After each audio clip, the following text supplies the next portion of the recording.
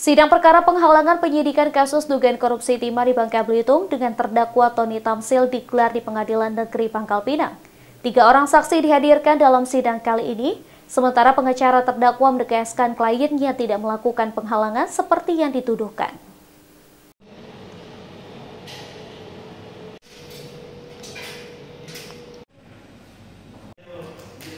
Sidang lanjutan perkara penghalangan penyidikan kasus dugaan korupsi tata niaga komoditas timah di Bangka Belitung dengan terdakwa Tony Tamsil alias Aki dilaksanakan di Pengadilan Negeri Pangkal Pinang pada Jumat 21 Juni 2024. Dalam sidang kedua dengan agenda keterangan saksi ini, jaksa penuntut umum menghadirkan tiga orang saksi, Ketiga saksi ini merupakan bagian dari tim penyidik Jampitsus yang melakukan penggeledahan di rumah Tony Tamsil.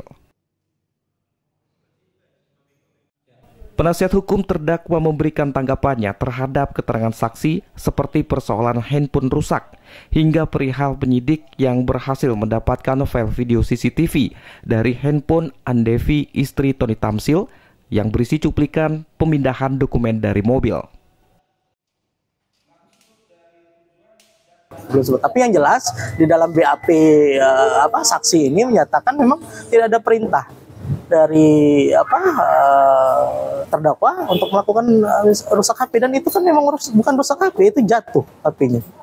Jatuh itu kan berdasarkan keterangan dari yang telah di apa diambil apa keterangannya oleh penyidik kan. Uh, terkait gitu. dengan uh, handphone istri terdakwa yang disita dan ternyata di dalamnya ada video katanya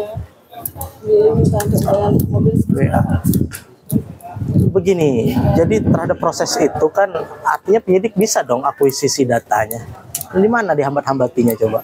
Itu bisa sudut WA percakapan antara suami istri kan? Itu, coba. terus di mana? Di mana dihambat-hambatinya coba? Di mana penghilangan penghilangan apa barang buktinya kalau ternyata data masih bisa disedot? Ah, itu ya teman-teman ya. Aki merupakan adik Tamron alias Aon Bos Timah Bangka. Dia duduk di kursi pesakitan lantaran diduga melakukan perintangan penyidikan kasus dugaan korupsi tata niaga komoditas timah di wilayah izin usaha pertambangan IUP PT Timah TBK tahun 2015 hingga tahun 2022 yang diduga menimbulkan kerugian negara sebesar 300 triliun rupiah.